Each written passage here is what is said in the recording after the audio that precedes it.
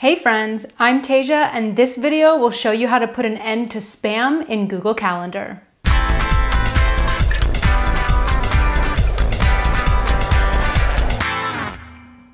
Recently, my Google Calendar was hit with spam events promoting the iPhone 10. And it left me wondering where they came from and why they were infecting my otherwise pristine GCal. So I did a little digging and realized that the spam is getting through by taking advantage of a really good GCal feature that automatically adds events from your email into your Google Calendar.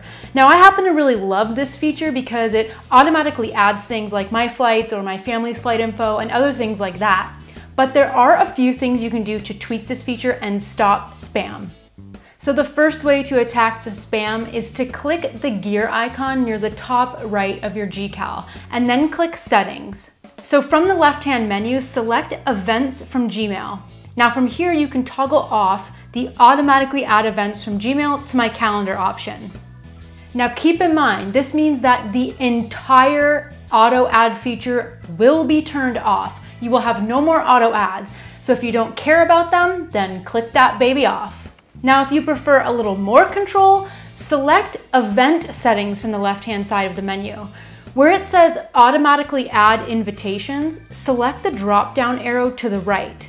Here, you can select No, which turns everything off, or you can opt to auto-add events you accepted or said maybe to. In my opinion, this is the best bet to still have events added to your calendar, but not entirely automatically, if that makes sense. That's all there is to it. Now I wanna hear from you.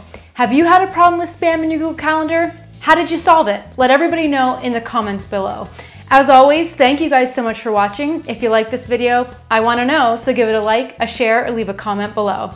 You can click right about here to subscribe to my channel, and right about here for another video. See you next time.